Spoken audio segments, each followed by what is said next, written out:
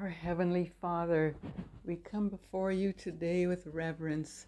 We come to praise you, Lord God. We praise you and magnify your name. Oh, Lord God, you have been so good to us, Lord God. We thank you, thank you, thank you for every blessing that you have poured out. We magnify your name this morning, Father. We, we just give you thanks for all that you have done in the past and we know that you are going to continue to give us blessings in the future. And we just praise you, Lord God, how we magnify your name. You have created the heavens and the earth, every creature in the sky, every creature in the oceans, every creature on the land. And what is man that you should be mindful of him?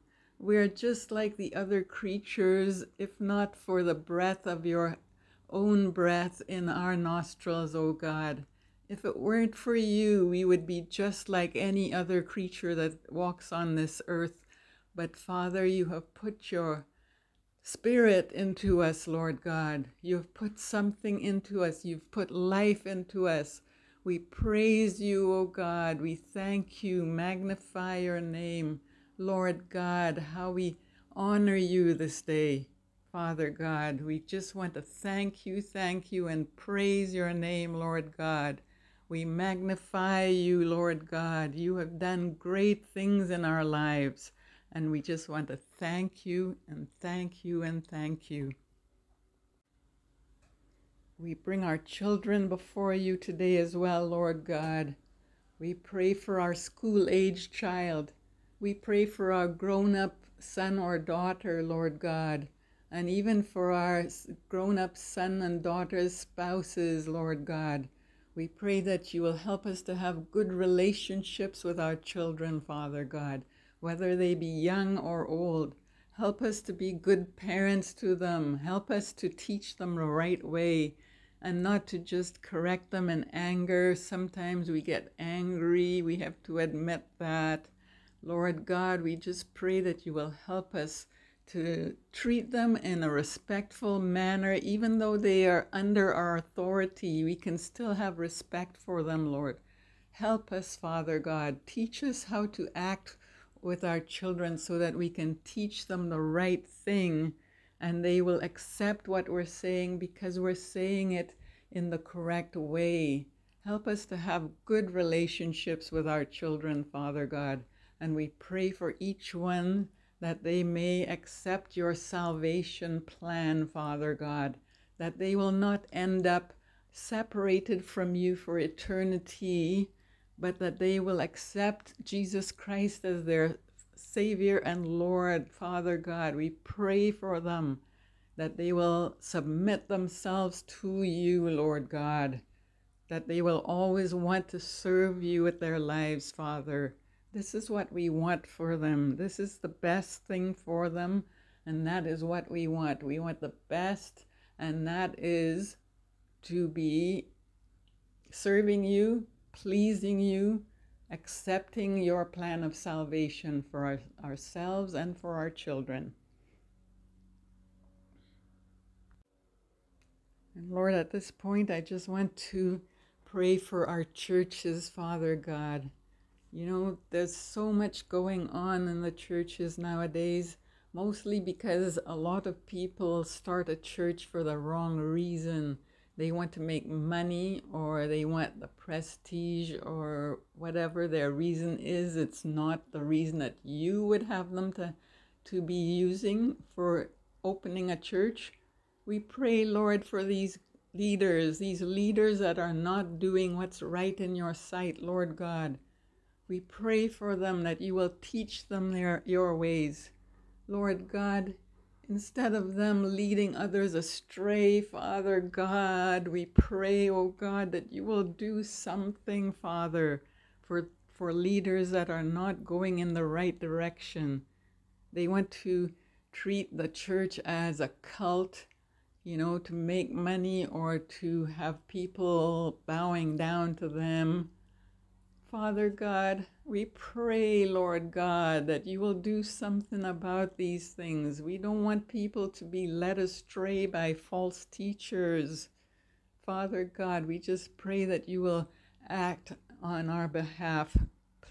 We pray that you will do something to change the hearts of these leaders that are not right, to stop them in their paths, Lord God. And we also pray for those who are doing the right thing. You know, they are servants, they're your servants, they're being real shepherds to the people. And they come under a lot of attack from all sides, Lord. You know that. You see it from where you sit on your throne. We know that you know already. But we just, Lord God, want to ask you to intervene. We ask you to protect these good and righteous leaders. Protect them, Father God. Help them to do what is right in your sight at all times, even when the things are going bad, even when things are tough.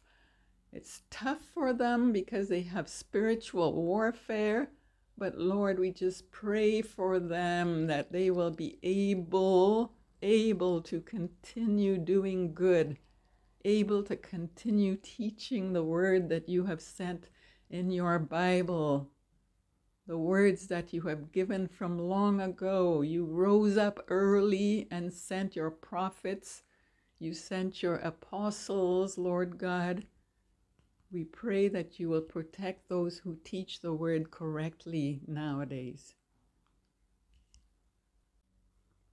And Father God, we pray for those in Jerusalem. We pray for those who are working there, those who are trying to bring your gospel to your people. Your people are being grafted back in, Lord God, and it's so exciting to see it happening right in our in our times. You know, in our world, this is happening. Your prophecies are coming about, and it's so lovely to watch them happen, to watch them develop like that.